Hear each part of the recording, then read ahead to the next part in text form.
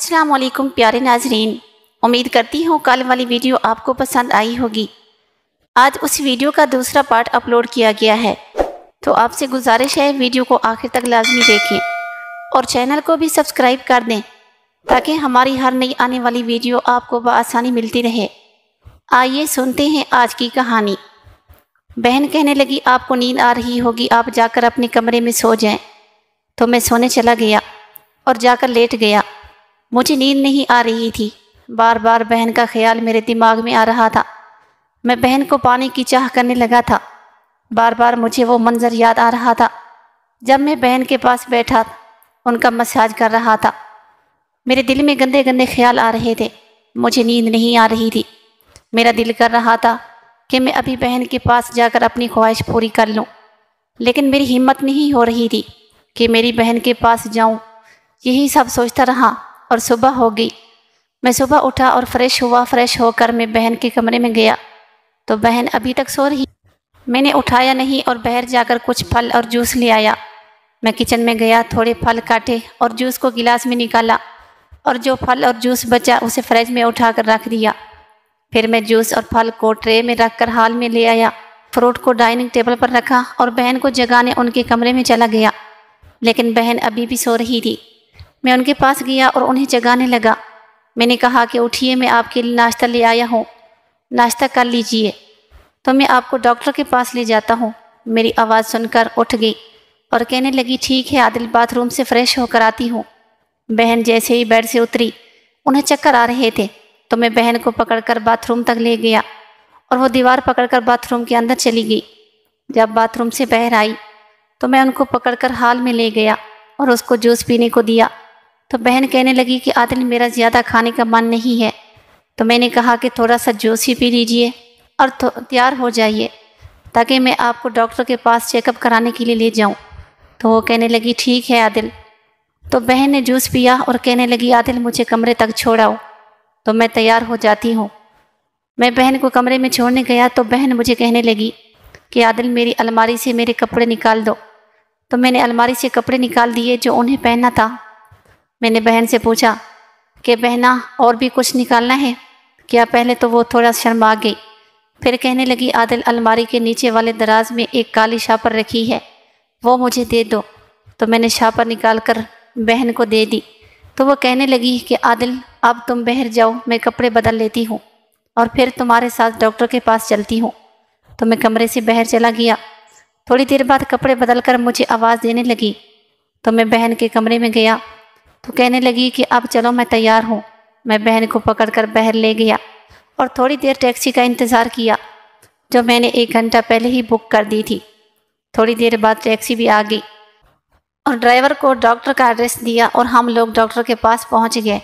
दस मिनट बाद हम डॉक्टर के क्लिनिक पर पहुँच गए। डॉक्टर के क्लिनिक पर भीड़ कम थी, कुछ मरीजों के बाद ही हमारा नंबर था और जल्द ही हमारा नंबर भी आ गया।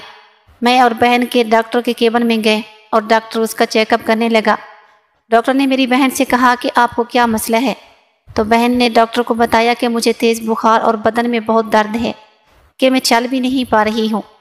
तो डॉक्टर ने इंजेक्शन लगाया और कुछ दवा भी लिख दी और तीन दिन बाद आने को कहा। मैंने डॉक्टर को फ़ीस दी और उनसे दवा का पर्चा लिया और बहन को लेकर घर आ गया।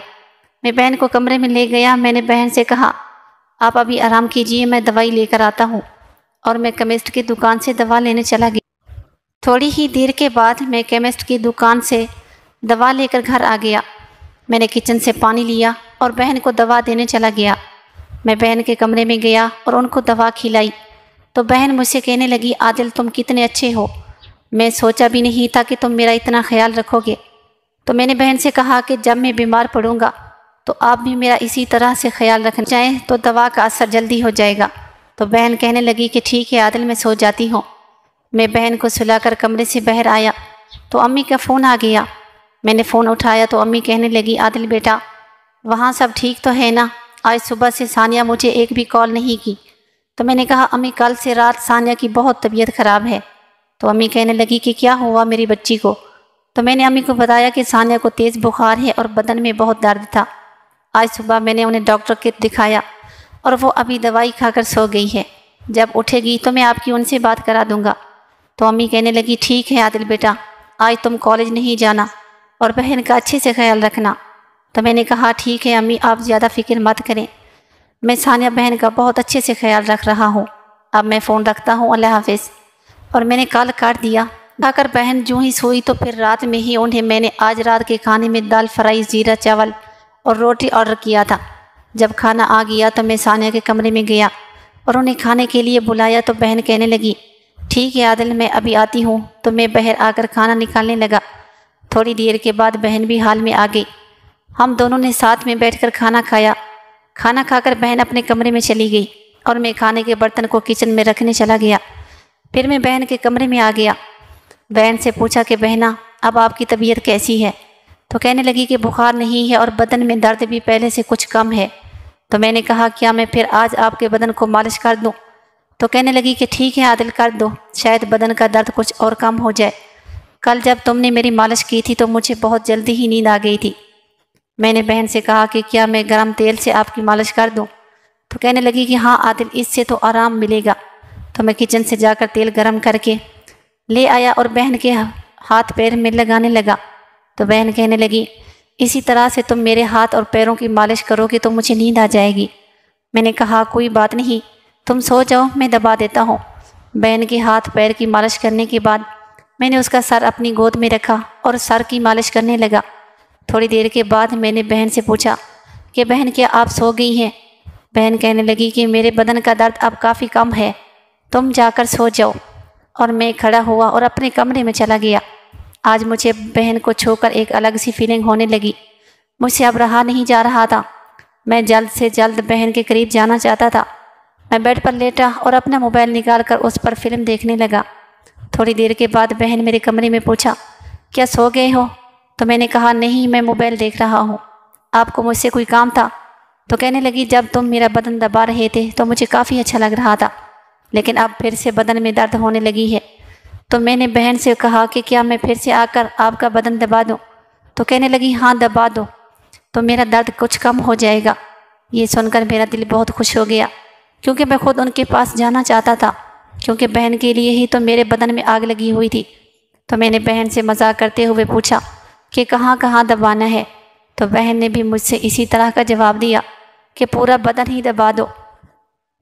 जब तुम दबा रहे थे तो मुझे बहुत अच्छा लग रहा था। हम इसी तरह से व्हाट्सएप पर बात कर रहे थे। मैंने बहन से कहा कि दबाने से अच्छा है कि आप पूरे बदन की मालिश ही करवा लीजिए। तो बहन ने कहा हाँ ये भी सही है। फिर बहन कहने लगी, आदिल, तुम्हें जो भी करना हो कर लो, लेकिन मेरा दर्द ठीक होना चाहिए। तो मैंने कहा कि, बहन, मेरे हाथ में तो इतना जादू है कि मैं आपका पूरा दर्द ठीक कर दूँगा। तो बहन कहने लगी कि, आ जाओ मेरे कमरे में, मैं भी तैयार हूँ। मुझे बहन की बातों से लगा कि शायद बहन भी मेरे करीब आना चाहती है। और मैं उठा और बहन के कमरे में जाने लगा। प्यारे नाजरीन, इस कहानी का बकिया हिस्सा अगली वीडियो में अपलोड किया जाएगा। आपसे गुजारिश है वीडियो को लाइक और और इस कहानी का सब पार्ट देखने के लिए इस चैनल को सब्सक्राइब ज़रूर करें।